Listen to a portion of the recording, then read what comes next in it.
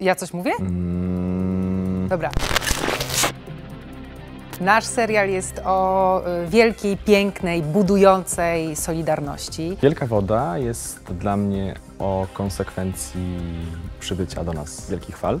Poza tematem związanym oczywiście z powodzią, z tłem tak naprawdę wszystkich wydarzeń, e, to wydaje mi się, że jest to miejsce, w którym możemy obserwować, jak łączą się serca. Jest dobrym pretekstem do tego, żeby opowiadać o rodzinie, o relacjach. Jak ludzie potrafią być razem, e, co stanowi jakąś wielką, napędową siłę, więc jest to też, można powiedzieć, siła miłości, która buduje to, co zostało zniszczone.